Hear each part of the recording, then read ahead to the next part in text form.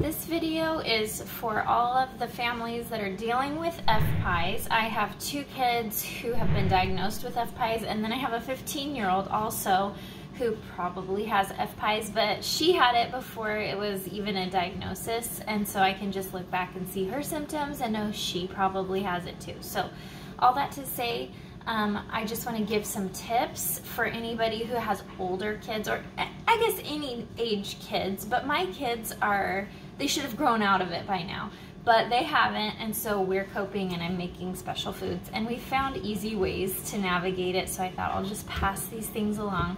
I have five-year-old Jojo, who is actually gonna be six in May. He has FPIES and he's up to I think six-ish safe foods. We're still trialing some, so I always get a little hesitant to say it's officially safe, but um, he's got six-ish safe foods now at age six. Um, so that means this little guy for birthdays has had like millet cookies, which is literally like millet, which is a grain, and uh, goat's milk and make a cookie out of it. So that's kind of the level at where we're at and what we've been trying to be creative with and to to build off of. Um, I have Zya, who's age three. She'll be four soon, and she's more probably up into the 20 food range. So she's starting to kind of become more functional where I would never say, hey, go into your Sunday school class and have whatever snack they serve. No way. We're not there. But I can make her some safe cookies with some coconut sugar and some millet grain and she can have something that's like an actual treat. And so that's that's been really neat. Um, Ella, my 15 year old, she'll be actually 16 in May. Um, she can have far more things to where now I'm only listing the things she can't have. She can't have gluten, she can't have corn, she can't have soy or oats, she can't have dyes, food colorings, um, and we avoid dairy. So for her, she's come a long ways and it's a lot easier. I mean, when you take away gluten and corn, for anyone who's gluten-free, you know it's not simple, but compared to what my littler ones are going through, it's totally simple. So today, the thing I was gonna walk everybody through was just making some simple millet bread. Millet is on the safe foods list for FPIES, but anyone who has a kid with FPIES, you know, no two kids with FPIES are the same. Jojo is, um, he's got an acute reaction to avocados. Avocados are also on the safe foods for kids with FPIES. It's supposed to be one of those um, good ones for these kiddos. But his was like vomit, vomit, vomit, blood pressure drop, go gray, blue in the face, white around the mouth, and just pass out cold um, for hours. And um, yeah, anyways, we were headed to the ER in one instance, and then he came to, and we were able to rehydrate and everything, thankfully, and he didn't go into shock and die. So that is our our wonderful story how we found out about avocados, his avocado severe allergy and um, then we've just been very cautious. We've done food trials at the hospital and stuff like that for him, and now we do food trials at home because um, we're learning how to navigate it. So anyways, Jojo can do, his five foods are millet, pears, bananas, peaches, and goat's milk. He's recently added um, blueberries, and he's trialing broccoli, which has been an intense, whew, and actually, so that's seven. And then he trialed tilapia. I did a video about tilapia and I'll try and put the link in the comments, but I don't think that they hyperlink. You probably have to like write it out on a piece of paper and then like type it into your search or something. But I did a video on his food trial of tilapia and um, he did really well. He didn't get any neurological symptoms. Um, he didn't get any skin or um, vomit or diarrhea, anything like that. But he just started refusing it. And so usually when I get a kiddo that loves something at first and then they start to refuse it, there's something going on. It just takes a while for it to kind of manifest in the physical symptoms. So anyways, tilapia is kind of on hold. So what I'm gonna do today is make muffins with my little muffin it's not a tin. It's not tin. I don't know. And um, so it's gonna be millet, salt, pears, and water. And this is for JoJo. So that's what we're doing right now. And I just, I'm, this is not a helpful recipe for anyone who's like loves to measure because I literally just poured it in. I just eyeballed it. So maybe that's like a cup and a half of millet. And I'm gonna just dump in a bunch of salt because we want this bread to have some, some salt. And millet can be kind of bitter. If anyone has ever played with like a ladybug and they leave the little orange spots on your hand and you smell it, I don't know if anyone has ever smelled their hand after holding a ladybug, but to me, that's what millet smells like and tastes like. So we're trying to get rid of that. It's kind of like a, I don't know, it's just kind of bitter. So um, we put in the pears to sweeten it up a little bit and we put in the salt to make it a little bit more tasty. So here we go.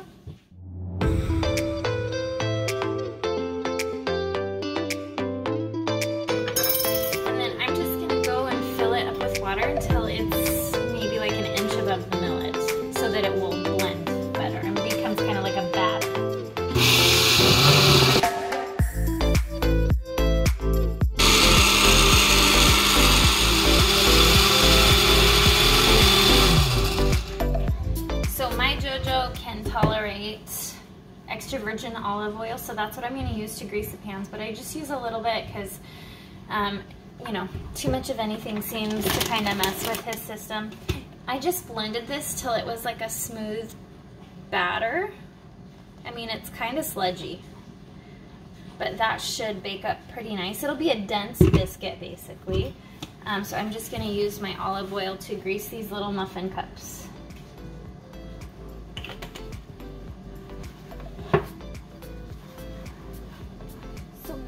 Is actually, I thought I'd kind of talk about millet if you haven't had any kind of encounter with it. Um, it is a little yellow grain. It looks very yellow compared to all of the other grains at the grocery store. Um, in Idaho, we got it at Winco and it was decent priced. Uh, we probably got like eight pounds of it for like $5 or something. It was reasonable. And then here in Florida, we found it at Sprouts. Um, they probably have it at Whole Foods, although I haven't ever gone to Whole Foods to get millet. Um, Sprouts, we probably pay about $16 for eight pounds, so it's quite a bit more here. I think they have it also on Amazon. Um, we haven't bought it through Amazon either, so I don't really know the prices or vendors or anything like that. But it has been a life-saving grain for my kids.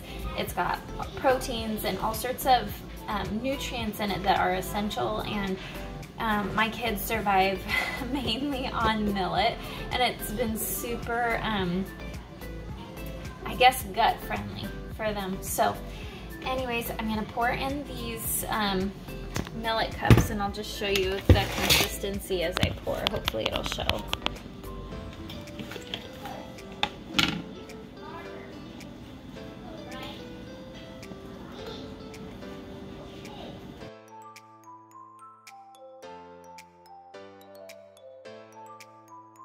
So these don't rise a lot. They pretty much stay the same height as what I pour.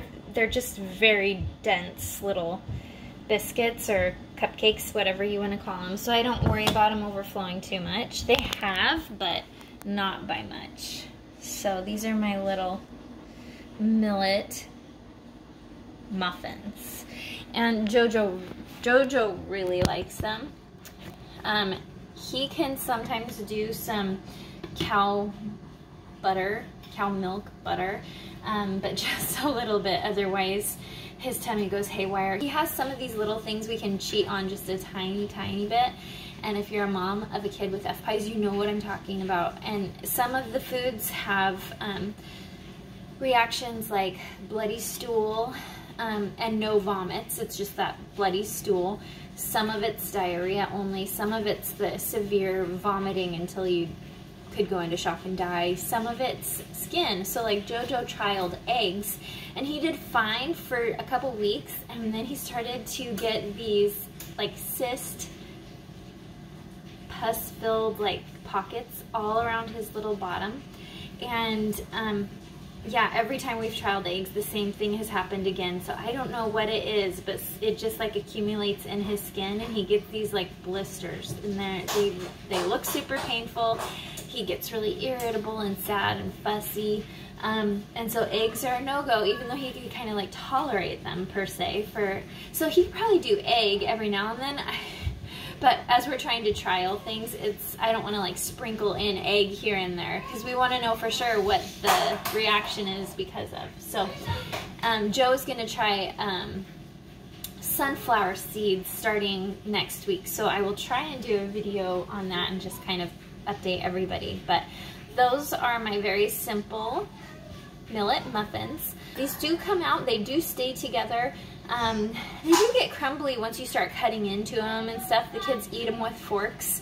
Um, so anyways, I hope that helps somebody. I know that there's not measurements, but really like the consistency, you just kind of have to watch and see. Does this look sludgy? Does it look soupy? If it's soupy, it's too thin and if it won't blend and it's too it gets stuck in the blender then you you know you want to add some more water or whatever kind of milk your kid will tolerate almond milk coconut milk soy milk whatever your kid can do.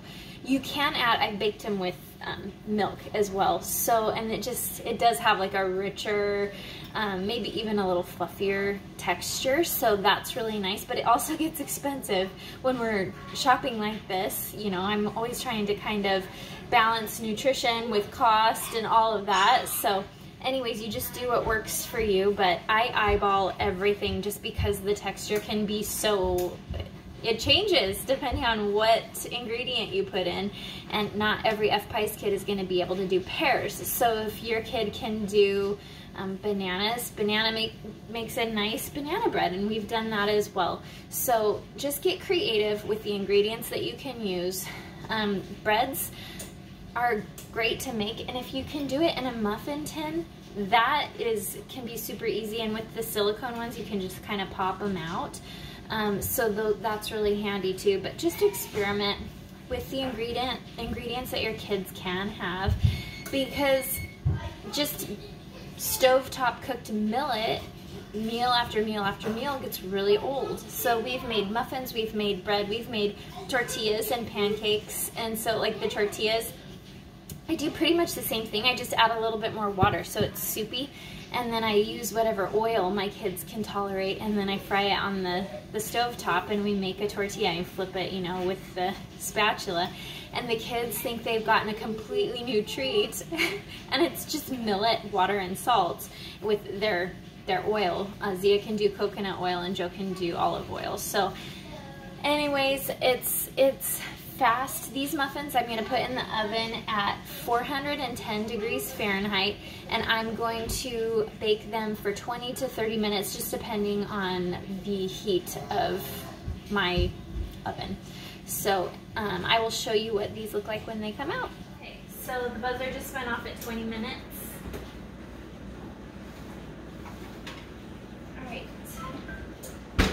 So the way I test to see if they're done is I just kind of push and see if they feel solid. And if they feel solid, then they're good.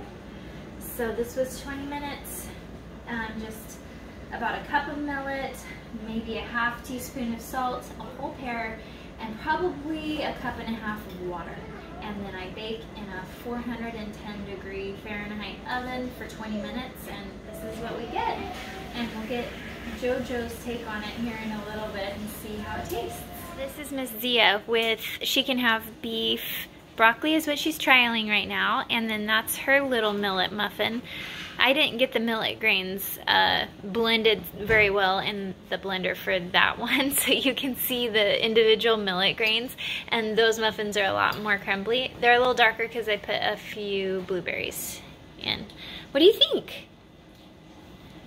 Good. this is Joe's smashed millet. It's just basically cooked millet. We cook it on the stove like you cook rice with water and uh, then we put it in the blender and puree it with some goat's milk and salt. And it's like a mashed potato type food and he loves it. it gives him just a little bit of variety. So it's not just that fluffy cooked millet and it's also not the muffin or the tortilla or the bread but it's smashed. So this is how we kind of create variety in our world. And then he had broccoli and he has already devoured that. You like your broccoli yeah. Okay, so these have cooled. Wow, my hair is like telling me I need to go get ready for the day. So this is the muffins. And they should pop out. Yeah. Popped out nice. Pretty clean. Okay, Joe. You want to bite into it? Come here. Right in front of the camera. Is it warm? Yeah, well, I would like a muff, uh, butter with it. Should we put a little butter on it? Sure. Okay.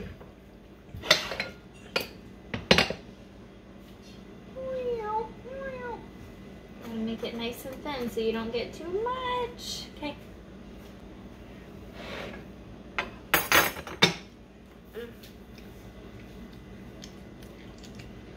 Okay, show show your bites to the camera so that people who watch it can see how crumbly it is or not crumbly. It's pretty moist, huh? Turn it, turn it. Right, like just like a dense muffin. How is it? Good.